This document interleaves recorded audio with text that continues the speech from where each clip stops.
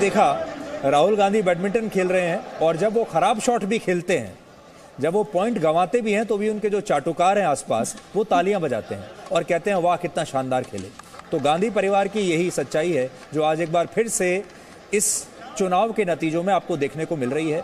वो एक के बाद एक मैच हारते जा रहे हैं, एक के बाद एक गलत फैसले कर रहे हैं, एक के बाद एक उनके खिलाड़ी आउट हो रहे हैं, एक के बाद एक उनके जो शॉट्स हैं, वो गलत जा रहे हैं। लेकिन इसके बावजूद भी उनके जो आसपास के लोग हैं, वो तालियाँ ही बजा रहे हैं। वो राहुल गांधी को भी बधाई देते हैं और कहते हैं, बहुत अच्छा खेले और हार के लिए कहते हैं कि इसमें आपकी कोई गलती नहीं है। ये तो बाकियों की गलती है। इस इस बार भी कहेंगे कि ये जो गलती है, ये तो सिद्धू की है। ये जो गलती है, ये तो चन्नी की है। और उत्तर प्रदेश में जो कांग्रेस बुरी तरह से हार रही है, अगर आप अपनी स्क्रीन पर देखेंगे, कांग्रेस सिर्फ़ एक सीट पर आगे है। सोचिए 403 सीटों में कांग्रेस को सिर्फ़ एक सीट मिल रही है इस समय।